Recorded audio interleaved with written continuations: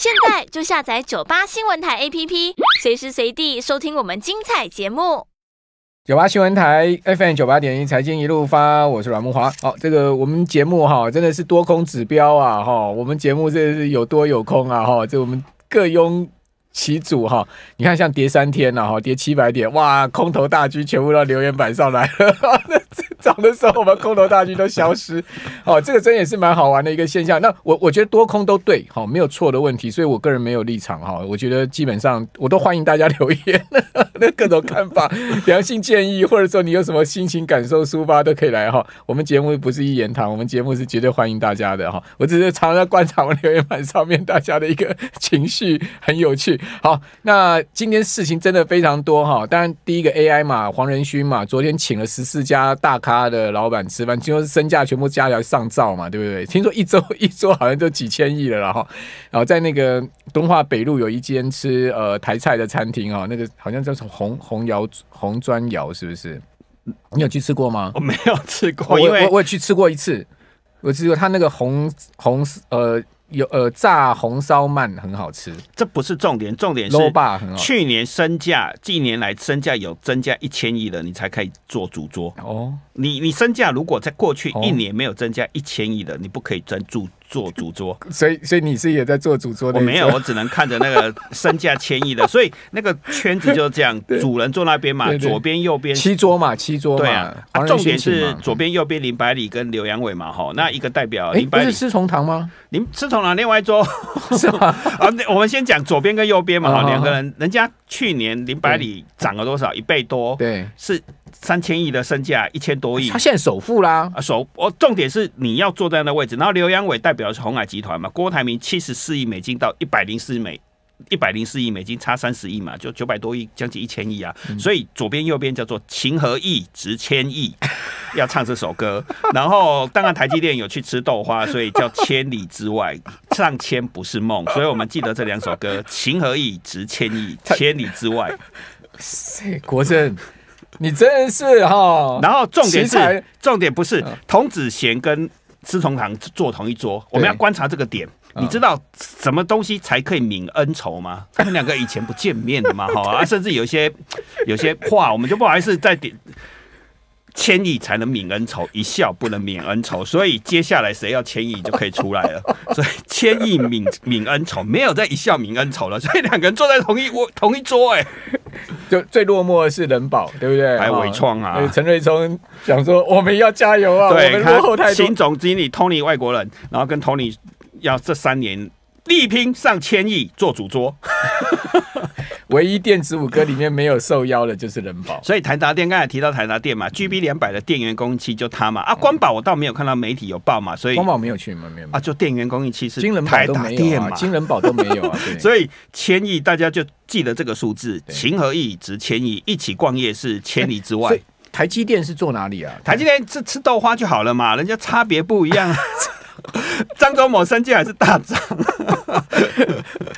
我们看最最新的富比士排行榜嘛，张忠谋也是大涨啊，所以有上千亿。台积电是前一天去吃豆花，对啊，吃豆花，所以林宪明就很难过了，讲，因为以前他也是 AI 概念股嘛，所以很很难过讲说，逛夜市台北我比较不熟，啊，你来呆了哈，我来交代。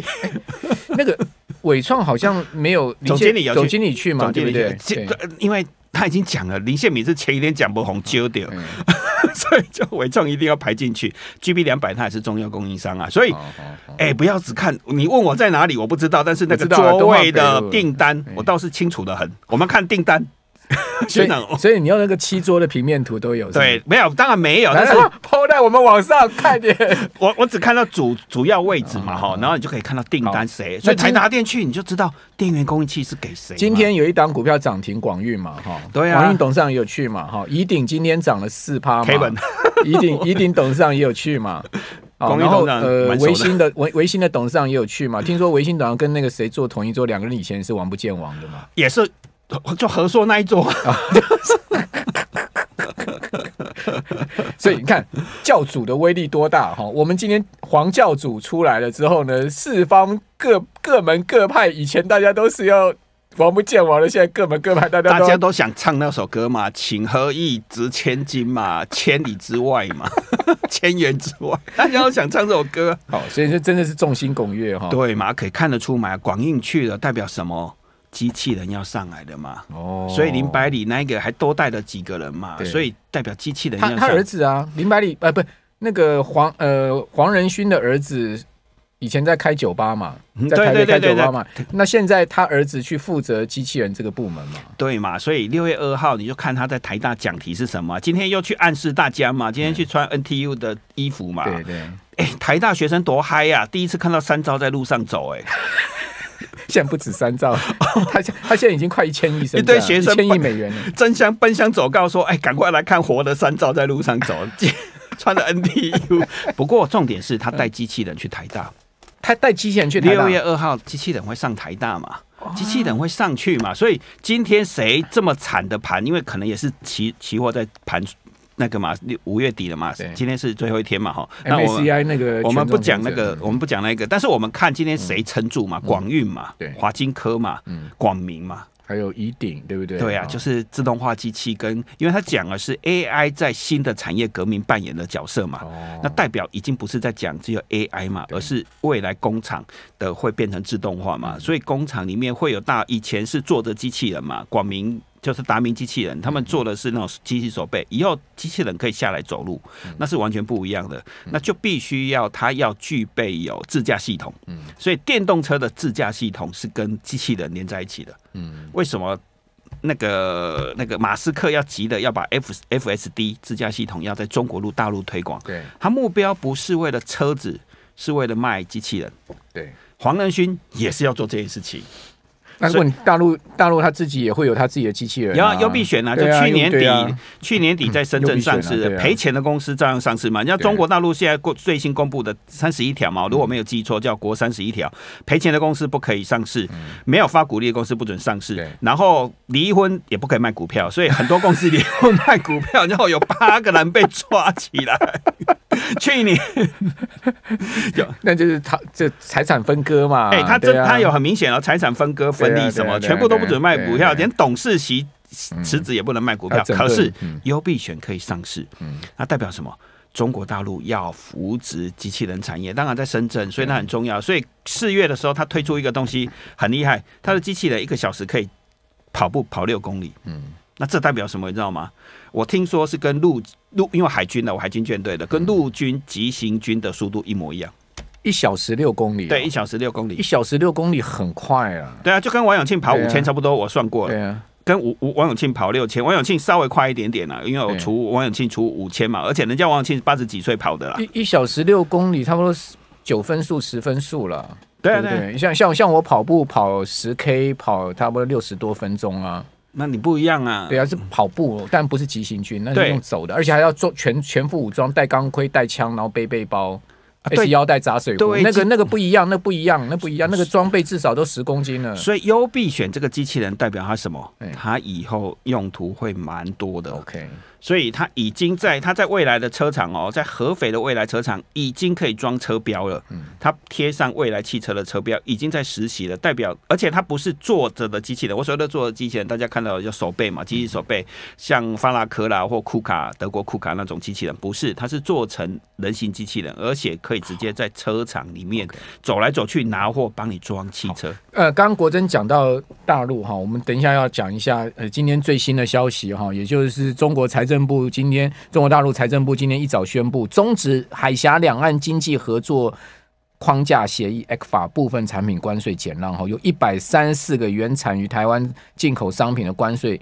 减让就被停止了哈，那个清单都已经出来了哈。那大部分是一些呃塑塑塑胶产品嘛，化工产品。润滑油这一次是润滑油，那上一次是 PC，然后再来是是也是石化产品。不过我这里还是要讲啊，对于对于我们台湾石化业来讲，其实这已经算利空出尽了啦。因为其实本来就有心理准备，在这次选举的前，我们那时候有做过问卷，那时候我做一次总统问卷，其实也大家都知道说。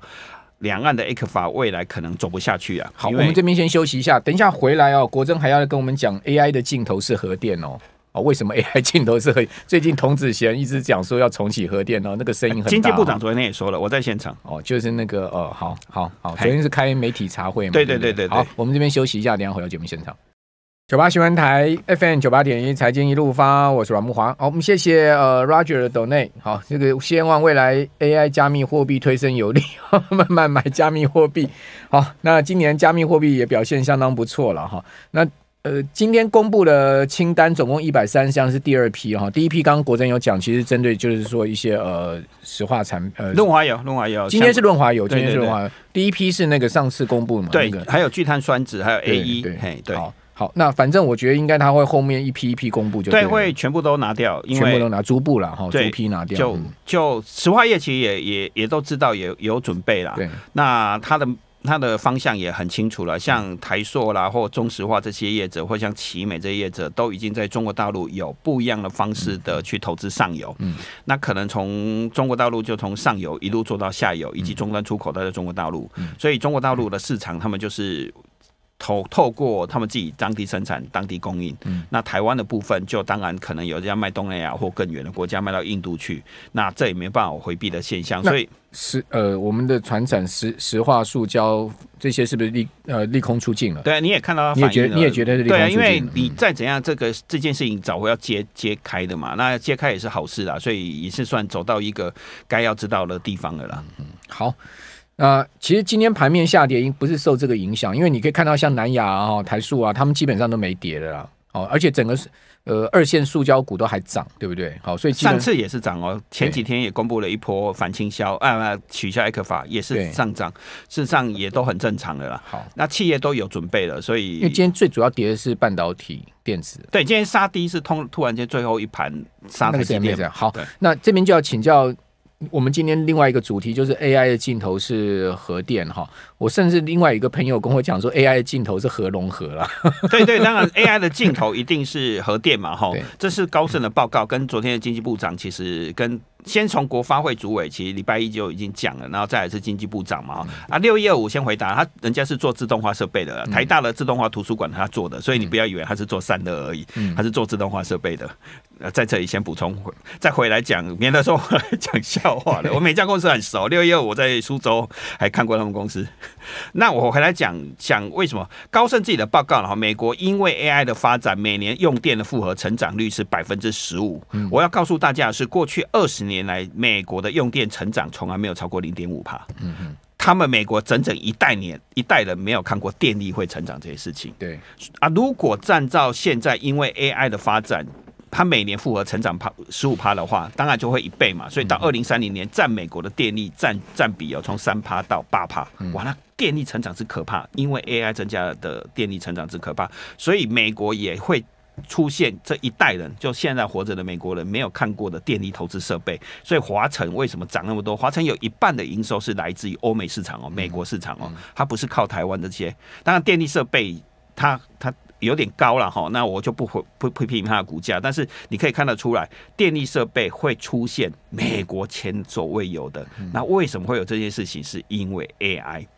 因为 AI 在运算的过程中实在耗费太多的电力，所以美国光 AI 要从三趴增加到八趴占比了。那每年复合成长率十五趴，那台湾当然我们政府的预估是比较低，会增加三成，因为我们没有那个太多的运算中心呢。对啊，可是。学长三成也是很可怕的数字哎，现在都已经捉襟见肘了。所以昨天的经济部长的记者会就讲得很清楚。嗯，当然第一句话还是说台湾不缺电的哈，啊，这个是不能讲的一件句话。就跟我刚才讲的居住正义跟飞核家园，到现在说飞核家园还是不会拿掉了哈。今天在立法院的答复。就去办他的神主牌啊，对对啊，居住证已经拿掉了，所以房子会无限制的涨，因为大家人人有房住，人人享受房价上涨。这也不是我说的哦，这是有人说的，很重要的幕僚说的。谁？直接讲出来。对，那这重点是规规划国家大方向的人。那再来是电力，那电力其实你已经知道说三成的成长嘛，但是他不想拿掉飞核家园，所以他现在是在。七月马上核三的一号机组要要延役了，所以他说那会会执行单位就希望说核电应该核三要留在备用，二零二七、二零八二八能够拿出来用。那代表说二零二五是非核家园嘛？那这个已经没有了，因为之后会会二零二七、二零二八要用核电嘛，但是它是执行单位，所以要用核能延役这件事情要由国发会提出来，所以他自己也讲哦，昨天郭志辉自己也讲说，这个提案应该由国发会提出来，接着立法院修法，那我相信立法院修法也不会挡下来嘛，吼，所以为了 AI 的发展，当然 AI 变成是一个很好的一个一个借口跟理由了，哈，那确不确定大家。就你他嘴巴讲跟大家相不相信的一些问题，所以今天行政院长好像也讲了嘛，说绝对到二零二三年完全不缺电呐啊，对，不绝对不缺电，但是讲啊，但是核能这件事情是会使用的，所以你等于到了二零二七、二零二八嘛，照他自己的目标，我现在讲的是经济部的目标嘛，哈，二零二七、二七、二零二八，所以。没有和非核家园啊，因为那个时候在用核电。我们我们一个个来讲哈。昨天郭志辉在记呃媒体的茶会里面，他最主要讲了哪一些重点？我看我有看到他的那个 PowerPoint 了。对，那个 PowerPoint 有朋友寄给我，就是他哎做的还蛮不错的哈，就有点像不是像以前经济部那种 PowerPoint。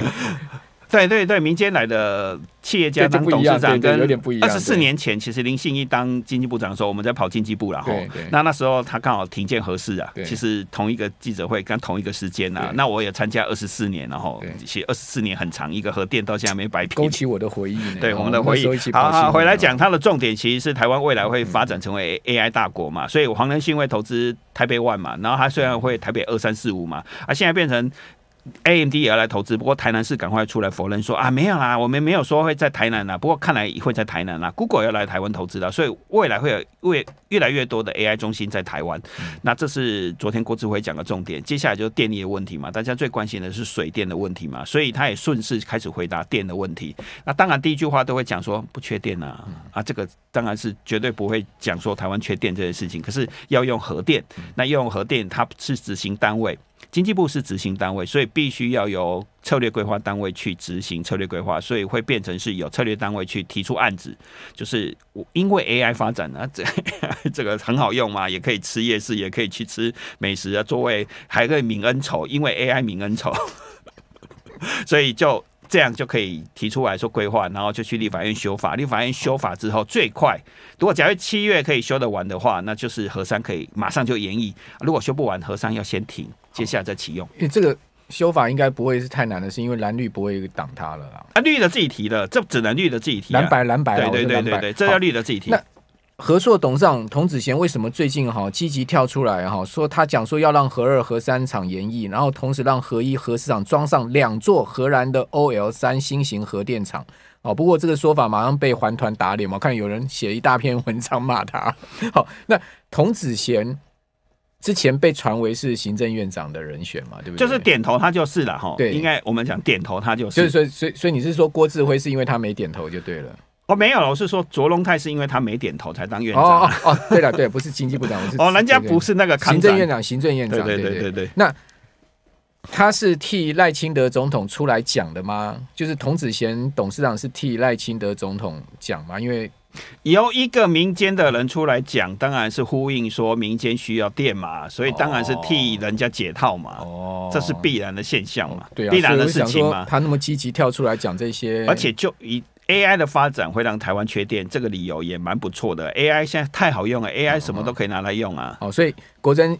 你预估这个核电重启啊，然后这个已经是水到渠成了，对不对？哦，没有，是他讲的，他要执行，嗯，他是执行单位，所以包括你刚才讲核二嘛，哈，核二昨天郭智慧讲的很清楚啊，因为它里面已经有燃料棒在里面了，所以燃料棒还要拿出来，然后还要新北市同意让它就地盖储存高辐射的储存哦，那这个是一个大工程。可是讲能够讲到这么细，表示心里都有谱了，所以经济部已经朝向核二跟核三是演绎了，因为细节都讲出来。当然这一这要花很长。一段时间来，不是说明天就可以，因为核二现在虽停机，可是燃料棒在核反应炉里面，嗯，要拿出来，那你要懂盖，先盖一个东西才可以拿出来。那核三其实马上可以演绎，可是因为法律的关系，好，那当然最大的争议就是核市场了，对不对？哈，对，但昨天当然没有提了，不过先那个啦。